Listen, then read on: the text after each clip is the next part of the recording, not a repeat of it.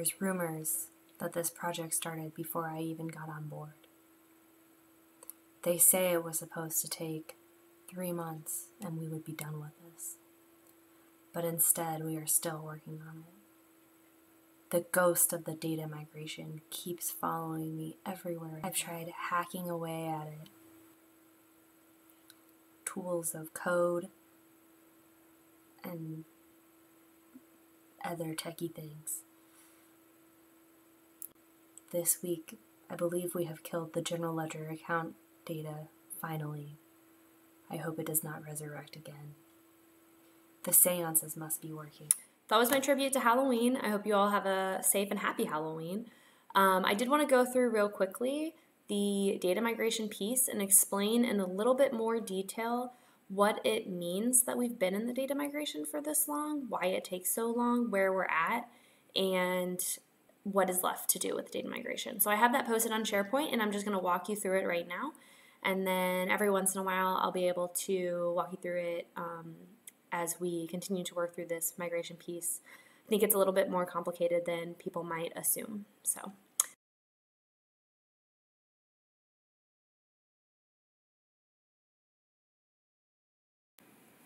So I've created this table that shows you the various tasks involved with the data migration piece. Since my webcam was glitchy, you get me again. So I'm just going to talk you through this table. You can go on SharePoint and check it out yourself. Basically, I've broken down the data migration into seven steps, and some of them can be repeated depending on the success or failure of another step. And I've defined each step in the SharePoint site as well.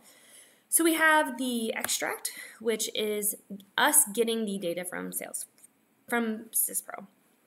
We also have to identify from that point, once we have the data, what we want to migrate over, how we want to migrate it over, and if there's anything that doesn't match, what can we do to get that data over into the new system still. And by match, I mean, I think I've used this example before of like trying to put like a cube, cube in a circle, and like they don't always fit. Um, so that's like a lot of times what data migration is involved in is how do we fit this thing into this thing, and it, it doesn't really work all the time.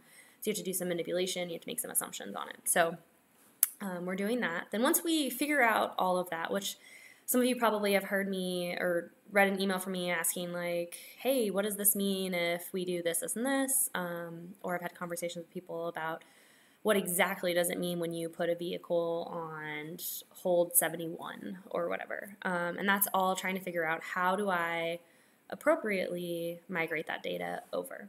So once we have that um, set with all of our assumptions that we are forced to make, we can try to load the data. So once we load the data, that's great, but how do we know that the assumptions that we made in step two actually translate in the way that we expected them to? Well, we have to check the data and make sure that it's valid and that everything got pushed over as expected, that we didn't accidentally say all of St. Louis North's inventory is actually all of Dallas's inventory because St. Louis North is a 1 1 and Dallas is um, another branch and we accidentally switched the number or something. So this is all involved in validating the data. We want to make sure that, you know, we didn't transfer the vehicles that were red now are blue in the system and it causes confusion and it um, is just not a very good data implementation. So that's part of the reason why this has taken quite a bit of time because once we validate it, then I have to identify what the errors are the first time around, because they were doing this all um, generally manually, I mean, we're not using software to automate the entire process for us. Um, we're using Excel Power Query, which is very useful, but it still is a lot of manual work. We have to make sure that we didn't, um, or we have to fix the errors that we identify. And so, for example, the general ledger data. Um, and for those of you who have no idea what general ledger is, as I did not before I started this project, um, it's just a list of all of our accounts. It's a way for accounting to organize the finances in a way that um, allows them to better manage it. Is a really high level, non accounting way of saying that. They might disagree with me, and there might be a better way to say it, um, or maybe I'm off base, but that's my understanding.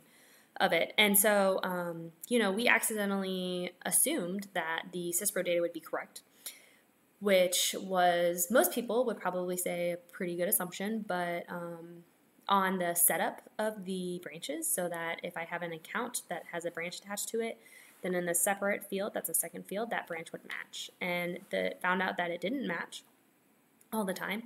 And so we had to go back through and we figured out that hey, these two branches are actually the wrong branches, and we switched it. We duplicated 17 and 18, and we don't have any data for 25 and 26. So this looks promising as why we're seeing the data off.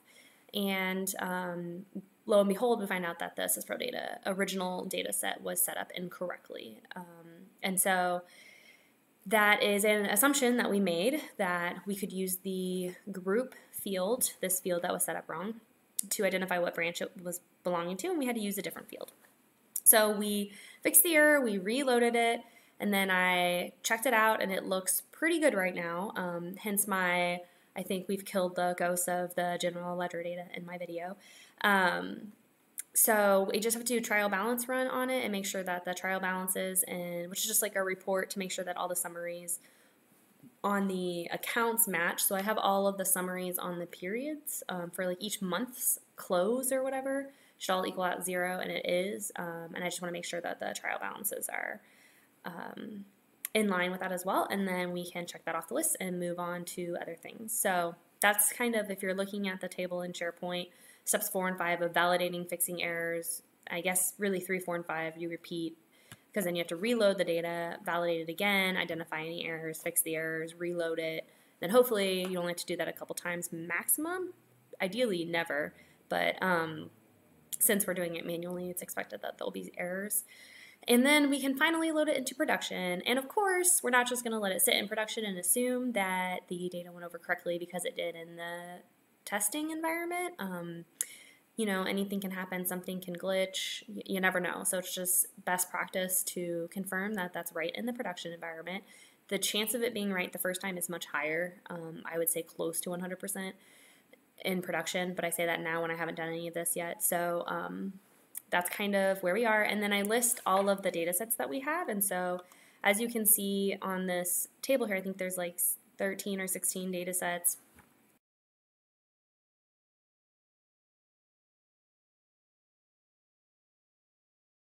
where just the general ledger summary data I think is close to 80,000 records. And so um, that's quite a bit of data to make sure that you are catching all of the nuances with it um, and making sure that you're able to load it correctly so that when you switch as a user when you switch from the SysPro to Salesforce you don't see any of that craziness that I had to go through to get it to where it is. You just see that the data looks right or at least that's the goal. So that's why it's taking so long. Um, thanks for watching as always. That's all I have.